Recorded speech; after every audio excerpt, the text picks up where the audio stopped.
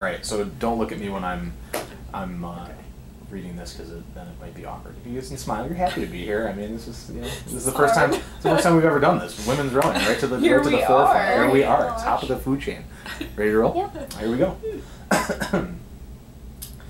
I'm here with newly named senior captains of the women's rowing team, Abbie McIvor and Jenette Kloss. First of all, congratulations to both of you on being named captain. Abbie, I'll start with you. What does it mean to you and Jenette to be named captains for this season? Um, I think to both of us, it means a lot of responsibility. Uh, it's obviously a huge honor to be named captain by the coach, and then to have the support of the team. It feels really good.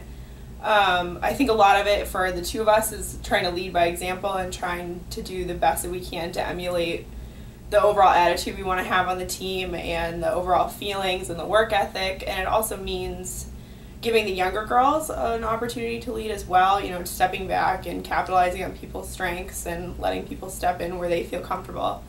I think that's really important. Great. All right, Jenette, as a captain, what are your expectations for both yourself and your teammates this spring as you look to lead St. Lawrence back to the NCAA championships?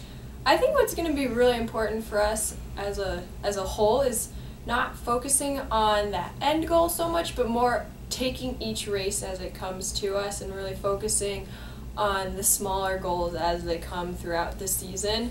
Obviously, it's going to be a lot of hard work for us. We're actually a pretty young team this year. Obviously, there are only two seniors, two juniors, um, a lot of sophomores, and they're going to be really the strength of our team. And we're going to all work together and push each other to really make up for our youngness and um, just strive towards each of our smaller goals as we approach them.